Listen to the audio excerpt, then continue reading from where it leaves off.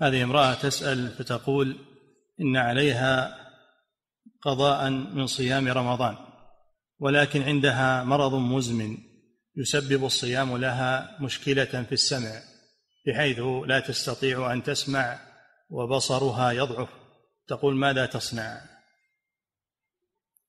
تطعم عن كل يوم مسكين. نعم.